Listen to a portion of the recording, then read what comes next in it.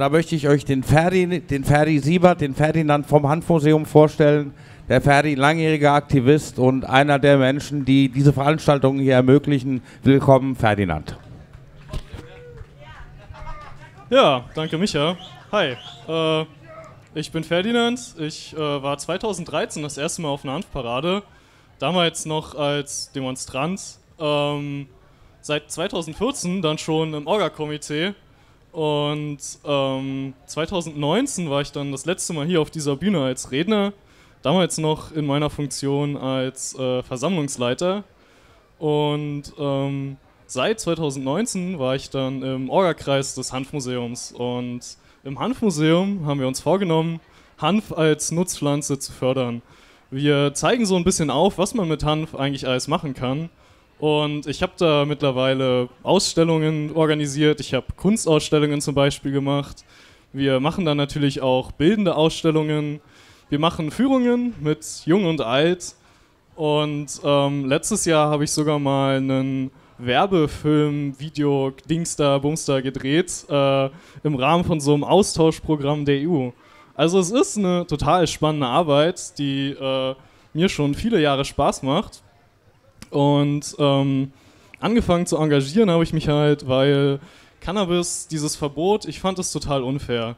Und wir lassen hier total viel Potenzial von einer Pflanze auf dem Boden liegen, die wir eigentlich, die eigentlich so quasi unsere Welt retten könnte. Ähm, wenn wir uns das mal angucken, ähm, was macht die Pflanze eigentlich so ganz grundsätzlich? Sie macht Photosynthese. Das heißt, ähm, leider können wir euch dieses Jahr noch keine Handpflanzen zeigen, aber stellt euch vor, hier wäre eine Handpflanze. Alles, was wir an Grün sehen würden, war mal Kohlendioxid. Das war mal Kohlendioxid, was in der Atmosphäre drinne war. Wir müssen also nur Hanf anbauen, wenn wir den Klimawandel umkehren wollen. Das ist eigentlich ganz einfach. Wir müssen nicht, wir müssen nicht irgendwelche riesengroßen Fabriken bauen, die mit technischen Geräten das Kohlendioxid aus der Atmosphäre rausziehen. Wir müssen einfach nur Hanf anbauen. Und naja, ähm, das ist ein guter Einwand, aber Hanf ist nun mal eine der Pflanzen, die am meisten wächst in Deutschland. Das ist ja das, was ihr euch unbedingt im Hanfmuseum angucken solltet. Ihr solltet euch die Hanfpflanzen angucken, die in Deutschland innerhalb von einem Jahr gewachsen sind. Die sind nämlich vier Meter lang. Und genau eben, weil diese Pflanze in Deutschland vier Meter lang wird, hat man sie ja schon Jahrhunderte benutzt. Wir wissen also ganz genau, wie diese Pflanze funktioniert. Wir können super mit ihr umgehen.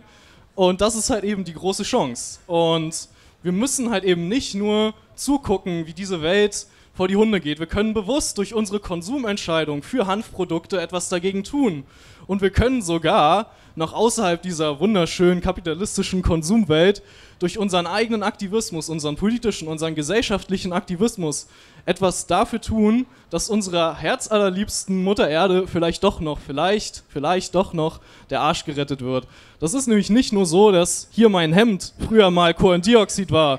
Das ist nicht nur so, dass früher mal meine Schuhe Kohlendioxid waren. Es ist nicht nur so, dass meine Socken, die auch aus Hanf sind, so wie mein Hemd und meine Schuhe, früher mal Kohlendioxid waren. Es gibt mittlerweile Häuser, die waren mal Kohlendioxid, die waren mal ein Stoff, der den Klimawandel produziert, der unsere Zukunft möglicherweise verhindern wird. Ähm, das ist eben auch eine der total spannenden Sachen, die ihr im Hanfmuseum lernen könnt. Man kann aus Hanf Häuser bauen. Und da schlägt man nicht zwei Fliegen mit einer Klappe, man schlägt mindestens drei Fliegen mit einer Klappe. Wir haben einerseits Kohlendioxid aus der Atmosphäre rausgezogen. Wir haben andererseits einen Baustoff, der viel gesünder ist als Dämmwolle oder andere chemisch hergestellte Materialien. Und darüber hinaus, das Allergeilste ist, es ist nicht nur gut für die Atmosphäre, das gesamte Klima an sich, es ist auch gut fürs Raumklima. Hanf als Dämmstoff lässt Wasser durch und das führt dazu, dass man im Sommer dass es im Sommer kühler ist und dass es im Winter nicht ganz so feucht ist. Das ist super für den Menschen, der da drinnen wohnt und es ist super für alle anderen Menschen auch. Ähm, deswegen, eine Sache möchte ich euch unbedingt mitgeben. Wir müssen nicht dabei zugucken, wie die Pflanze Hanf als gefährlich dargestellt wird und verschrien wird. Wir müssen nicht dabei zugucken, wie unsere Welt vor die Hunde geht und wir müssen nicht dabei zugucken, wie eine Substanz, die jedes Jahr über 100.000 Tode in Deutschland fordert, legal ist, während Cannabis, bei der keine einzige Überdosis bekannt ist, immer noch legal ist. Wir müssen nicht dabei zugucken. Wir können durch unsere Entscheidungen diese Welt ändern. Und genau deswegen sollten wir uns aktiv zeigen. Ihr könnt ins Hanfmuseum kommen, ihr könnt die Hanfparade mitorganisieren, ihr könnt auch einfach euren Freunden erzählen, wie wahnsinnig toll Klamotten aus Hanf sind. Die sind zum Beispiel viel atmungsaktiver, ich schwitze viel weniger. Ihr könnt euren Freunden und äh, Familie erzählen, wie toll Häuser aus Hanf sind. Ihr könnt etwas ändern. Jemand, der noch viel länger als ich Sachen ändert, ist mein Kollege Rollo. Der wird heute auch noch das Hanfmuseum vertreten. Ich freue mich sehr, ihn ankündigen zu dürfen.